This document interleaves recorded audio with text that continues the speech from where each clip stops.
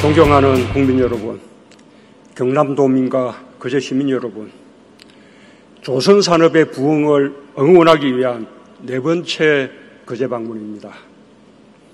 첫 방문 때는 우리가 만든 세계 최초 쇠빙 LNG 운반선의 출항을 기념했고 야말 5호는 지금 북극 항로를 힘차게 누비고 있습니다. 두 번째는 우리 기술로 만든 3천톤급 잠수함을 진수했고 도산 안창호함은 지금 우리 해양 안보의 주력이 되고 있습니다. 세 번째 방문 때 명명식을 한 세계 최대 컨테이너선 알헤시라소호는 출항과 동시에 만선으로 화물 적재 세계 최고 기록을 경신했습니다. 그제에 올 때마다 세계 최강 조선산업 부흥의 희망이 쑥쑥 자라고 있다는 보람을 느낍니다. 위기 극복을 위해 조선산업 관계자들이 오랫동안 흘린 땀과 눈물을 잘 알고 있기에 더욱 보람을 느낍니다. 정부의 강력한 의지에 경남도민과 거제 시민의 열정이 더해져 우리 조선산업과 해운산업이 함께 도약하고 있다는 것을 실감합니다. 우리는 올해 13년 만에 조선 최대 수주량을 달성했고 세계 최고의 위상을 되찾았습니다. 10년 이상 계속된 세계 조선 시장 불황을 딛고 일어나 다시 힘찬 항해를 시작했습니다. 오늘은 우리 조선 산업의 부흥을 이끄는 주역 중 한 곳, 삼성중공업에서 조선해운 관계자들과 함께 조선산업 재도약 전략을 발표하게 되었습니다. 조선산업은 우리의 주력 산업이자 효자 산업입니다. 하지만 오랫동안 지속된 세계 조선 시장의 불황으로 인해 기업도 노동자도 지역 경제도 많은 어려움을 겪어야 했습니다. 이제 그 경험을 바탕으로 다시는 흔들리지 않도록 튼튼한 배가 큰 파도를 넘듯 우리 조선 산업의 체질을 더욱 강하게 만들어야 합니다. 조선 산업 재도약 전략으로 우리 조선 산업의 힘을 더욱 강하게 키워 누구도 따라올 수 없는 압도적인 세계 1위로 만들겠습니다. 국민 여러분, 조선 해운 산업 관계자 여러분, 그제는 이수신 장군이 임진왜란 첫 성전 옥포 대첩으로 나라를 지킨 곳입니다. 이수신 장군의 학익지는 당대 가장 획기적인 전술이었습니다. 속도는 느리지만 튼튼하고 방향 전환이 빠른 우리 함선의 특성을 이용한 전술이었습니다. 조선 산업의 위기를 극복할 수 있었던 것도 우리의 강점을 최대한 살리는 전략이 있었기에 가능했습니다. 우리는 극심한 세계적인 조선 부진 속에서도 부단히 새로운 기술을 개발해 대형 컨테이너선, 대형 LNG 운반선, 초대형 원유 운반선 같은 친환경 고부가가치 선박에서 독보적인 경쟁력을 쌓았습니다.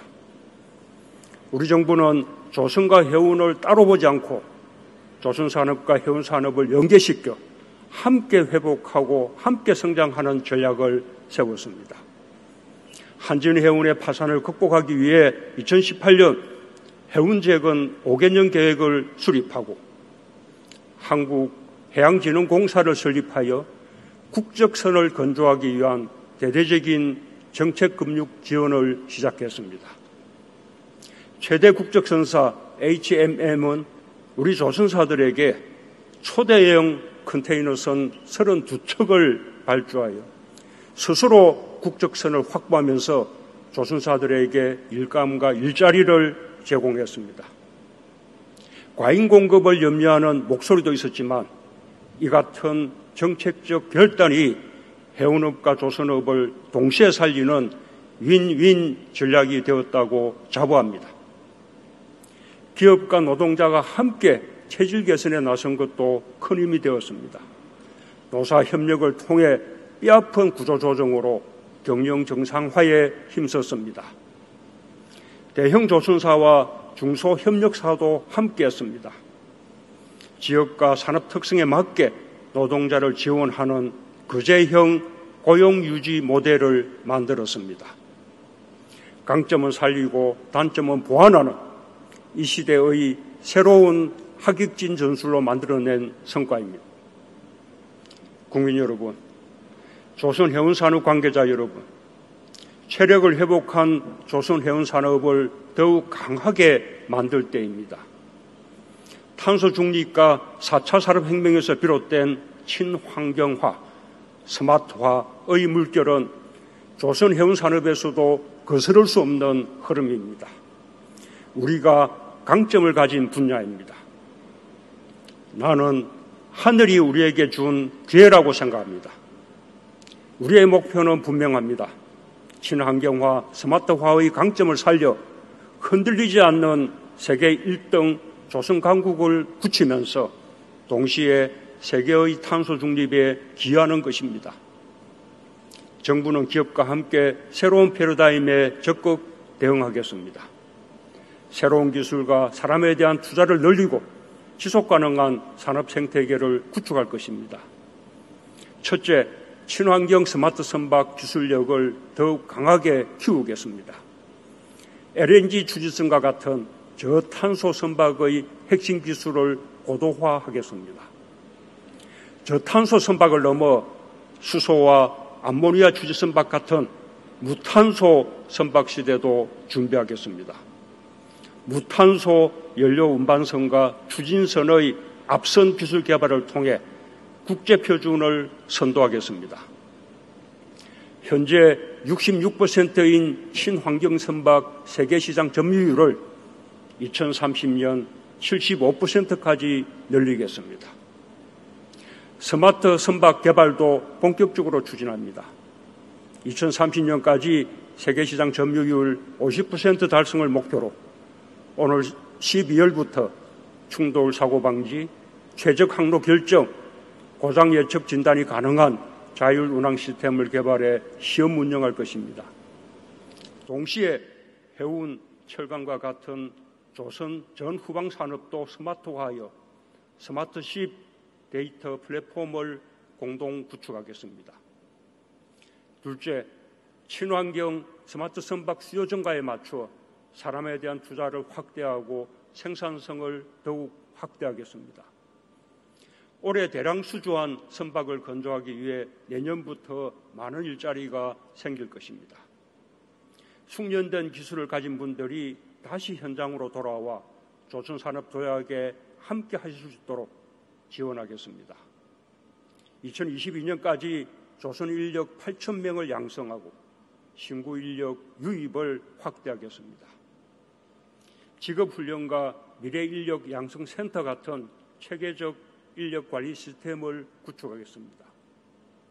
또한 생산 기술을 디지털화하고 제조 공정을 자동화하여 2030년까지 생산성을 30% 이상 높이겠습니다. 셋째, 대기업과 중소기업이 함께 성장하는 건강한 산업 생태계 구축에 힘쓰겠습니다.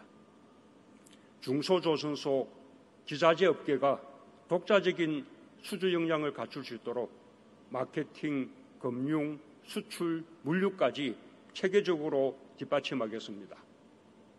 친환경 디지털 선박의 설계부터 제조, 수리, 개조까지 기술력을 갖출 수 있도록 전방위적으로 지원할 것입니다.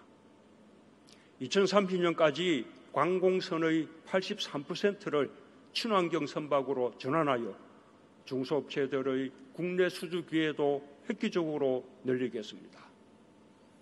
오늘 스마트십 데이터 플랫폼 공동 개발, 미래 인재 양성, 대중소기업 상생 협력 등 세 가지 협약이 체결됩니다. 기업과 정부, 유관기관, 대기업과 중소기업이 상생 협력할 때 우리 조선 산업의 힘은 더욱 더 커질 것입니다.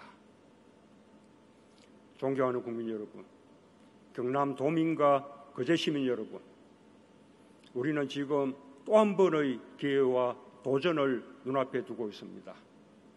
지금까지 해온 것처럼 세계 최고를 향한 집념과 열정으로 상생 협력해 나간다면 또 다른 기적을 만들 것입니다. 우리가 만든 배가 거침없이 전 세계를 누비고 대한민국은 흔들리지 않는 세계 1등 조선 강국을 발판 삼아 선도 국가로 우뚝 설 것입니다. 더 원대한 미래를 만들어갈 대한민국 조선과 해운을 국민과 함께 응원합니다. 감사합니다.